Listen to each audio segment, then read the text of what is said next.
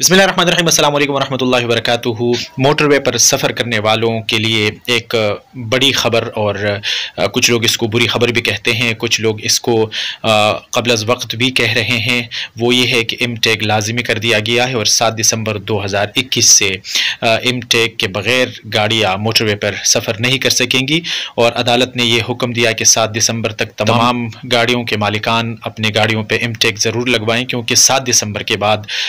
M tag के बगैर कोई भी गाड़ी मोटरवे पर सफ़र नहीं कर सकेगी। बहुत सारे सहाफ़ियों का कहना है कि ये कबल वक्त है क्योंकि अमेरिका जैसे में भी एम टैग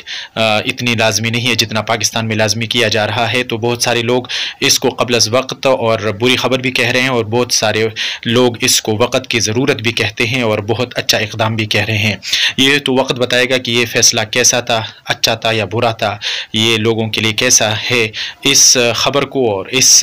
सहूलत को मोटरवे पर सफ़र करने वाले ही अच्छा एक्सप्लेन कर सकते हैं कि ये उनके लिए कैसा है ये तजुर्बा और ये ख़बर। बहुत